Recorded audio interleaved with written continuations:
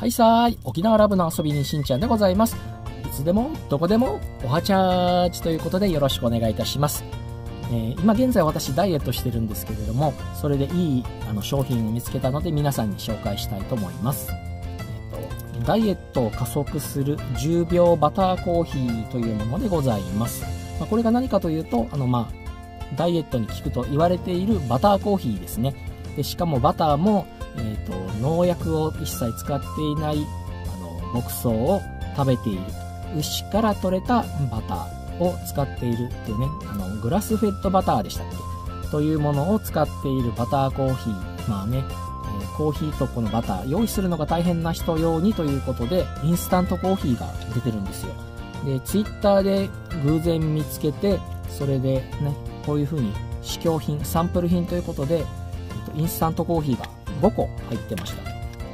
で、ツイートを見ると、この5個入りがなくなったら3個になるみたいなんですけど、こういう感じで分包されてるのが便利ですね。これで、まあ、さささーと入れて、お湯で飲むみたいな、ブラックで飲んでもいいし、あとはね、豆乳だとかミルクで飲んでもいいし、あとお茶なんかに入れても、まあ、美味しいです。はい。私はお茶で入れて飲んでいます。はい。で、こういうのが入って、今は5個入っているものが送られてきます。これと、とはこのザ・ダイエットブックっていうのが送られてきますので、ぜひね、皆さんも、うん、ちょっとやってみてください。で、私これでサンプル品でハマってしまったので、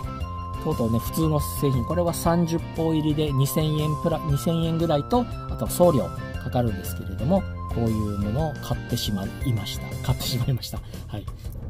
チャコールバターコーヒー、チャコバ、ちょっとハマってしまったので、ちょっと皆さんに紹介させていただきました。詳しくは Twitter の方でね、この三浦拓也商店をちょっとね、確認していただけたらなと思います。はい、ということで今回はチャコールバターコーヒー、チャコバをちょっと紹介してみました。皆さんもチャコバの世界へ、メンソーレー、メンソーレー、メンソーレー。皆さん一緒にダイエットしませんか？それではさようなら。